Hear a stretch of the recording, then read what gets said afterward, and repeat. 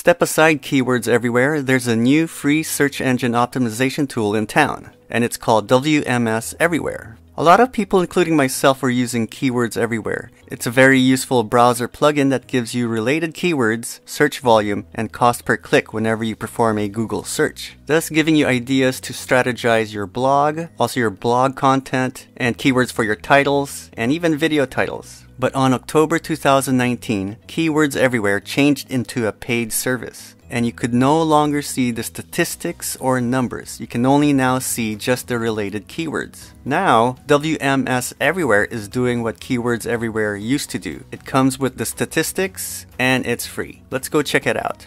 Okay, so let's go to Google, WMS Everywhere, and click the Chrome link. It's the Chrome Web Store, so this is the page.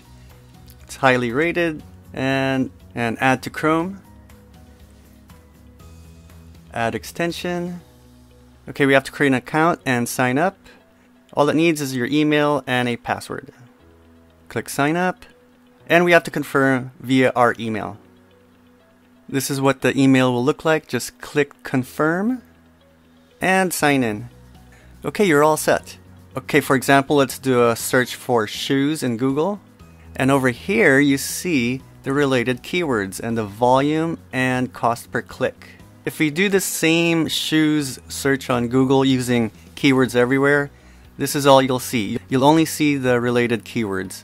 There's no more statistics, no more CPC. Okay, so this is WMS everywhere, and this is the volume, kind of estimated searches per month for that keyword. And cost per click, that's the estimated price people are paying for those terms in Google AdWords. It gives you an indication which are really popular and how much people are paying for it.